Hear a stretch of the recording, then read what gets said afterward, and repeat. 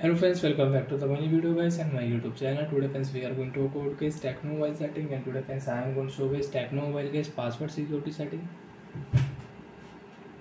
And today video title is guys how to delete face lock data in all Tecno mobiles.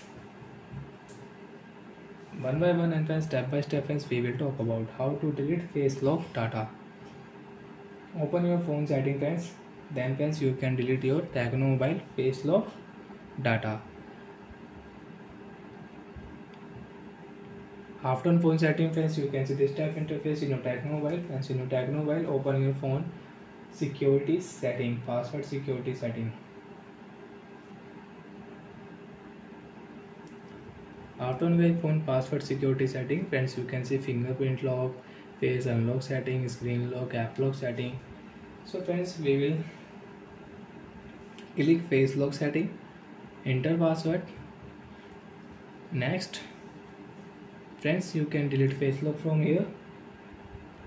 And friends if you off this setting unlock screen lock setting. Friends you have face lock but friends face lock will not show unlock screen. You can check. You cannot unlock your Tecno mobile with face lock. You can unlock your mobile after enter password so like that friends you can disable face lock. You can off face lock. And friends when you will on face lock setting so friends you can unlock your phone with face lock. Click here and you can unlock your phone with face lock.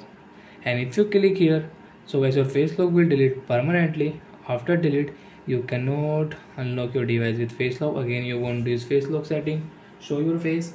Then friends you can start face lock in your Tecno mobile and you can unlock your phone with Tecno mobile so friends lock screen.